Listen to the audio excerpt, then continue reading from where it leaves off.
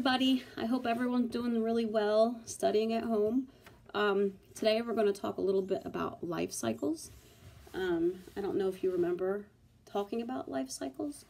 Uh, what is what is a life cycle? What is a cycle? You know, a cycle is a series of events that happen over and over and over again in the same order every time. So, can you think of some things that we learned about that are part of a life cycle?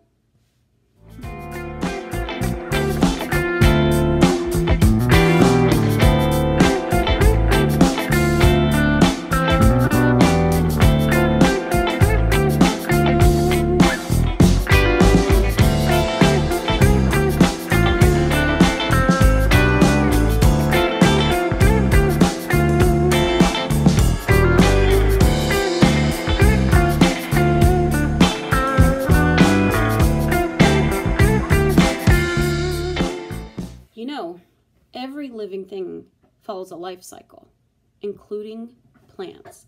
And that's just what we're going to discuss next. A plant life cycle doesn't have as many steps as some of our animal life cycles that we've studied, but it still repeats itself over and over. Most plants produce seeds in their flowers.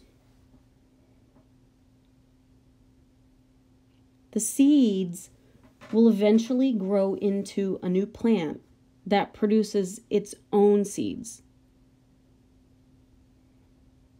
This is the life cycle of many plants. They grow from the seeds of their parents.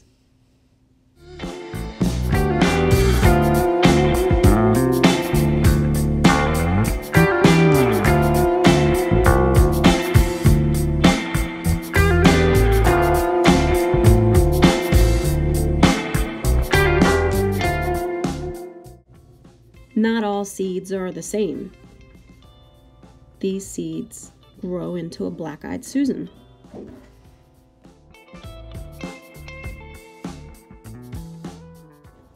Purple cone flowers have seeds that look like this.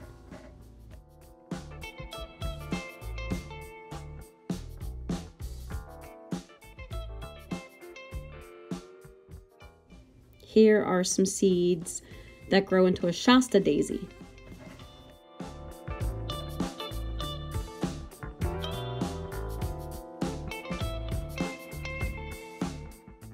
Remember,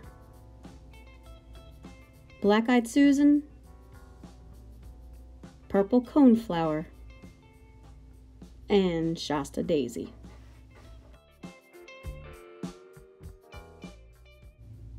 Here's your assignment. Compare the seeds. Write about how they are alike and different.